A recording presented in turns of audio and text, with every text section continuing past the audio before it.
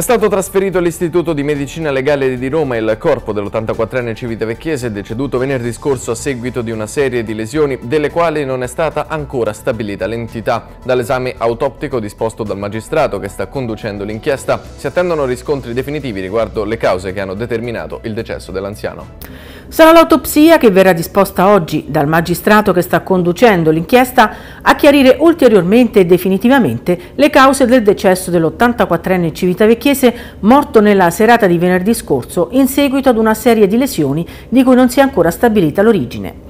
L'anziano era stato rinvenuto domenica scorsa nella sua abitazione in una pozza di sangue. A ritrovarlo, dopo aver inutilmente cercato di mettersi in contatto con lui, era stato il figlio, successivamente indagato per tentato omicidio dai carabinieri. Proprio i tecnici del RIS dei militari avevano condotto una serie di rilievi, avvalendosi anche del luminol, per chiarire le cause delle lesioni riscontrate sull'anziano e dei quali si attendono ancora i risultati. Adesso la parola fine su questa parte dell'inchiesta potrà essere comunque scritta dall'anatomopatologo dell'Istituto di Medicina Legale della Capitale dove è stato già trasferito il corpo dello sfortunato anziano che potrà chiarire l'origine delle lesioni. Dall'esame autoptico infatti il medico potrà avere un quadro di riferimento più preciso rispetto in particolare all'origine delle ferite riscontrate sul capo dell'84enne. Ai fini dell'inchiesta avviata subito dopo il rinvenimento dell'uomo nella sua abitazione, risulta fondamentale comprendere se quel tipo di ferite sia o meno compatibile con l'impatto verso un mobile o il pavimento successivamente ad una caduta o se viceversa possa essere stato prodotto da un corpo contundente. Un vergognoso episodio di razzismo avrebbe visto come vittime due ragazzi civitavecchiesi di origine africana che giocano nella formazione Under 19 del dopolavoro ferroviario. Il fatto sarebbe avvenuto ieri mattina a Civita Castellana durante al termine dell'incontro giocato nella cittadina del Viterbese nel quadro del campionato provinciale a girone unico. Stando al racconto di quanti erano presenti al match durante la partita e soprattutto alla fine sarebbero stati rivolti pesanti insulti razzisti verso i due ragazzi di colore del DLF, soprattutto da parte di un giocatore della formazione avversaria. Proprio a causa del brutto episodio di razzismo si sarebbe sfiorata più volte la rissa. Adesso bisognerà vedere se i fatti, così come raccontati, troveranno riscontro nel referto arbitrale quali saranno gli eventuali provvedimenti del giudice sportivo. Non solo il raddoppio del costo per i croceristi che dovranno sborsare ben 6 euro se utilizzeranno il bus di CSP per trasferirsi dal porto alla stazione, le nuove tariffe del trasporto urbano fissate a fine 2022 dal Palazzo del Pincio prevedono aumenti anche per le corse utilizzate normalmente dagli utenti. Proprio gli utenti hanno voluto segnalare una situazione che non porta benefici alle loro tasche. Una stangata vera e propria per il trasporto urbano. Ad affermarlo sono stati alcuni utenti che si sono rivolti al TRC Giornale lamentando l'aumento delle tariffe, giudicato eccessivo, entrato in vigore lo scorso primo gennaio. CSP, la società in-house che gestisce il trasporto pubblico locale in città, ha recepito dall'inizio dell'anno le indicazioni arrivate da Palazzo del Pincio attraverso le delibere numero 227 e 228 del 6 dicembre 2022, modificando le tariffe con l'inizio del nuovo anno.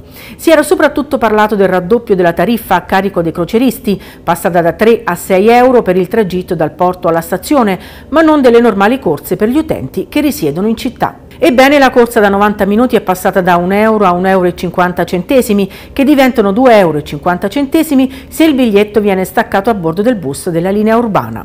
Non esiste più il biglietto giornaliero, mentre l'abbonamento mensile ha un costo variabile da 20 a 30 euro, a seconda se si tratta di una o due linee e quello annuale varia da 192 a 240 euro. Cifre che risultano più vicine a quelle praticate a Roma da ATAC rispetto a quelle di altre realtà di provincia, come ad esempio Viterbo e Frosinone. Nel capoluogo della Tuscia il biglietto singolo costa ancora un euro, quindi 50 centesimi in meno rispetto a Civitavecchia e se fatto a bordo arriva a 1,50 euro. È possibile avere un biglietto giornaliero venduto a 2,30 euro, 2,50 se fatto a bordo, mentre l'abbonamento mensile costa 25 euro e quello annuale 250 euro. Simili le tariffe di Frosinone, col biglietto singolo che costa 1 euro, 2 euro a bordo, quello giornaliero 3 euro e con gli abbonamenti venduti a 25 e 250 50 euro se sono mensili o annuali. Diverso il discorso della capitale, dove il biglietto singolo costa 1,50 euro, quello giornaliero 7 euro, mentre gli abbonamenti mensili e annuali costano rispettivamente 35 e 250 euro. Insomma, a Civitavecchia non sembra particolarmente conveniente usare il mezzo pubblico. Alla insufficienza delle linee, che non passano frequentemente come ad esempio a Roma, e alle altre manchevolezze del servizio si somma adesso anche il costo. Non il miglior incentivo se si ragiona nell'ottica di scoraggiare l'uso del mezzo privato per ridurre l'inquinamento atmosferico, che in città, come dimostrato da studi più o meno recenti, viene equamente diviso tra centrali, porto e traffico veicolare. Il Comune assegni definitivamente la gestione del Parco Spigarelli prima che sia troppo tardi. A dieci mesi dall'inaugurazione, la grande area verde che si trova nel quartiere di San Gordiano, tra le migliori opere pubbliche realizzate grazie ai fondi Enel relative alle compensazioni ambientali, comincia a dare già segni di cedimento si tratta di segni di cedimento conseguenza dell'uso quotidiano da parte di centinaia di utenti e della mancanza di controlli e manutenzioni quotidiane. A dare i primi problemi sono soprattutto le strutture che si trovano nell'area riservata ai bambini. Giochi rotti e già interdetti all'uso e un'altalena traballante diventata oltremodo pericolosa stanno a testimoniare l'urgenza di intervenire quanto prima affinché il parco torni allo splendore iniziale e non degradi ulteriormente. 206 nuovi positivi a fronte di 57.500 tamponi effettuati e un decesso e il riscontro settimanale del Covid nel territorio dell'azienda sanitaria locale Roma 4 sulla base dei report che quotidianamente continuano a essere diffusi dall'assessorato regionale alla sanità. I numeri sono pressoché identici rispetto alla settimana precedente, si è infatti avuto un nuovo caso in più visto che dal 23 al 29 gennaio le nuove positività riscontrate erano state 205, con un numero di controlli pressoché analogo. Bassa anche la percentuale dei nuovi casi rapporto ai tamponi eseguiti, rimasta per gran parte della settimana sotto la doppia cifra. Un incremento si è registrato nelle giornate di sabato e di ieri, quando il tasso è stato rispettivamente del 12 e del 10%. Ma prima di parlare di un possibile incremento è opportuno attendere qualche altro giorno. È stata una settimana interlocutoria a Civitavecchia, quella appena trascorsa sul piano ambientale. Il consueto report pubblicato sul sito istituzionale di Arpalazzo non ha evidenziato sostanziali differenze rispetto all'analisi precedente. Le uniche differenze, anche se non sostanziali, hanno riguardato i biossidi di azoto leggermente in crescita e le polveri in modesta discesa. Biossidi su ma non troppo e particolato giù ma non troppo. Sono questi in estrema sintesi gli elementi più importanti che scaturiscono dalla lettura dei dati contenuti nel report settimanale sull'inquinamento a Civitavecchia pubblicato sul sito di Arpalazio. Così come avviene ormai da parecchie settimane, i livelli dei diversi inquinanti sottoposti a controllo nelle diverse centraline sparse nel territorio cittadino sono abbondantemente al di sotto dei limiti di allarme fissate dalla legge. Nello specifico per quanto concerne i biossidi di azoto, il cui valore massimo fissato dalla normativa vigente è di 200 microgrammi, la media è stata di 16 microgrammi al porto, di 36 a Villa Albani, di 22 in via Morandi e di 46 in via Roma. Molto bassi i valori del particolato ovvero del PM10 con una media di 9 microgrammi rilevati al porto e di 12 nella centralina di Villa Albani contro un limite massimo fissato a 50 microgrammi. In aumento rispetto ai precedenti report i valori relativi al monossido di carbonio in via Roma, rilevato a 0,5 microgrammi. Il monossido invece è stabile nella centralina di Fiumaretta, dove è stato misurato a 1,3 microgrammi. Sempre a Fiumaretta in crescita il valore del benzene, passato da 0,4 a 0,7 microgrammi.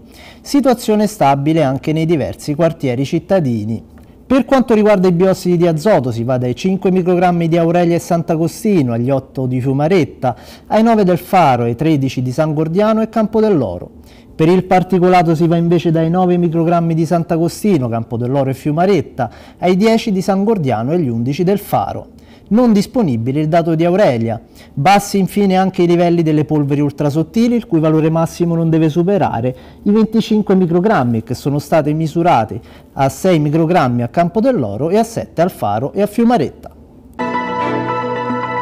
Il Civitavecchia deve ancora attendere per conquistare la prima vittoria del 2023. Ieri pomeriggio al Tamagnini è arrivato un pareggio che non serve a molto per i nerazzurri che hanno impattato sull'1-1 contro la capolista Anzio nella quarta giornata di ritorno di eccellenza. La partita è stata equilibrata e con poche occasioni da gol, sbloccata a pochi secondi dalla fine del primo tempo da Proietti con un calcio di punizione. Nella ripresa è arrivato il pareggio degli ospiti. Il Civitavecchia rimane terzo a meno 8 proprio dall'Anzio e con due punti di ritardo dal centro sportivo Primavera, che sarà il prossimo avversario. Aspettative purtroppo rispettate al Palasorbo di Ladispoli, la 3PC Cividalad ha ceduto per 3-0 ad Empoli, seconda forza del campionato di Serie B2, una gara che è stata sempre in mano nei primi due set alle giocatrici avversarie, mentre nel terzo le padrone di casa erano riuscite ad andare in vantaggio anche di tre punti prima del recupero delle ospiti. Va rimarcato che la Cividalad ha dovuto fare anche a meno delle infortunate Bociagova, Giulie e Spalletta. La classifica è sempre negativa per le ragazze del consorzio, che sono ancora ultime. Settima sconfitta nelle ultime otto partite per la Stemar 90 cestistica nel campionato di C-Gold. Ieri pomeriggio al Pala Riccucci si è imposto il basket Frascati, uscito vincente per 82-73 al termine di un match condotto sin dall'inizio. A differenza di altre circostanze nelle quali la formazione rossonera aveva comunque lottato e magari perso solo nel finale, ieri la prova di Campogiani e compagni è stata opaca, come se la squadra, adesso nona in classifica, avesse già la testa nella seconda fase del torneo, che inizierà a marzo. Si sapeva che non era una gara facile e tutto è stato dimostrato. Successo a fatica per la Futsal Civitavecchia che all'Ivan Lottatori ha sconfitto di misura per 3 a 2 il fanalino di coda Atletico Torma Arancia. Il quintetto allenato da Umberto Di Maio che aveva chiuso il primo tempo in parità è riuscito a guadagnare il vantaggio nelle battute finali del match. Protagonista del successo Mondelli, autore di una doppietta supportato dal gol di Lavalle. Con la vittoria di sabato la Futsal ha aumentato a 4 i punti di vantaggio sulla zona play-out. Serata d'onore per gli snipers Tecnoalt in Serie B che al Pala Mercuri hanno sconfitto la capolista Fox Legnaro, imponendosi per 6 a 3. Dopo lo svantaggio iniziale, i nerazzurri hanno preso in mano la partita andando a segno con le doppiette di Lepore e Cocino e le reti di Valentini e Mercuri. Con il successo ottenuto, gli snipers Tecnoalt si sono portati in testa alla classifica in compagnia del Forlì, in un campionato dove tutti hanno già vinto e perso. Prima di salutarvi vi ricordiamo di seguirci anche sui nostri canali social Facebook, YouTube, oltre che sul nostro sito www.trcgiornale.it.